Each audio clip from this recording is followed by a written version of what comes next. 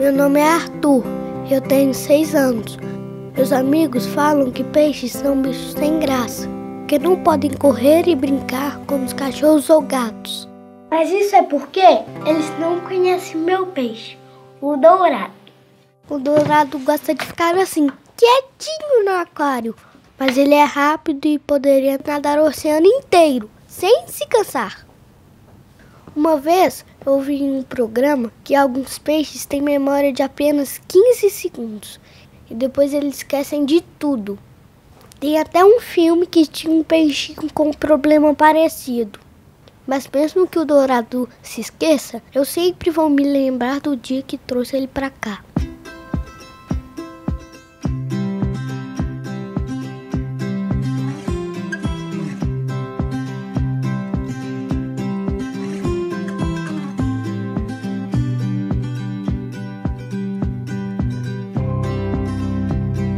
Estava com a minha mãe em um labirinto de mercadores de vários lugares. Eles traziam frutas, animais e comidas dos lugares mais distantes do mundo.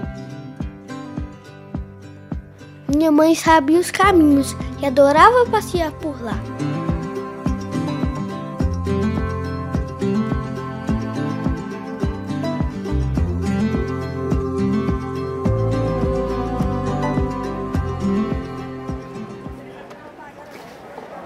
Ela ia parando de barraca em barraca e gostava de experimentar as comidas mais estranhas. Tinha até um doce que era amargo. Eca. Foi então que eu vi. Era um lugar cheio de peixes e plantas estranhas. Tudo era azul e os peixes tão coloridos. Era como se eu estivesse no fundo do mar com eles. Você sabia que no oceano existem tesouros, navios e um monte de animais diferentes?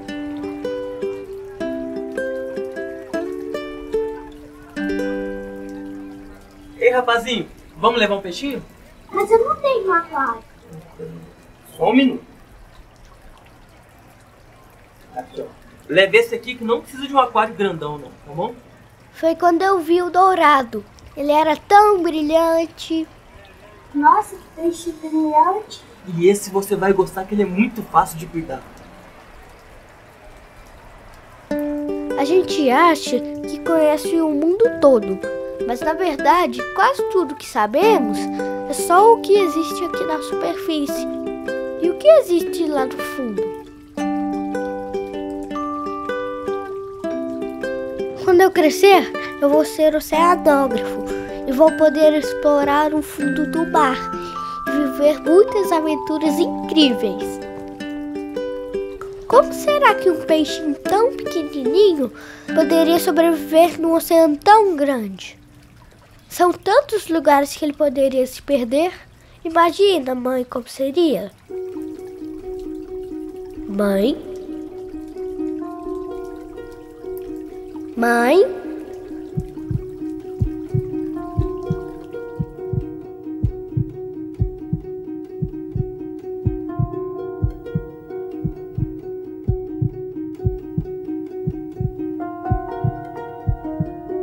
Eu não lembro de ter passado por aqui. E agora?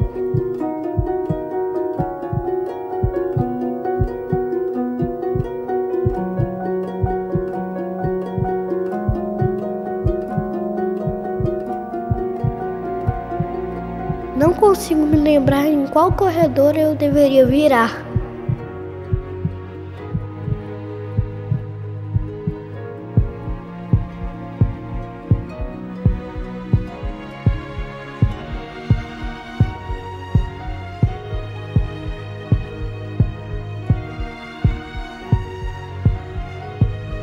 Meu pai me disse que quando a gente está perdido, a gente tem que parar e olhar ao nosso redor, porque sempre existe uma saída. Então, eu fui ao único lugar que a minha mãe poderia estar. Papa!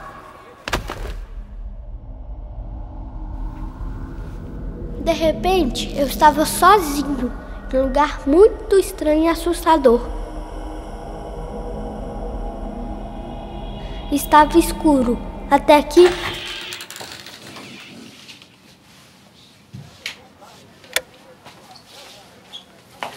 Filho, vem cá.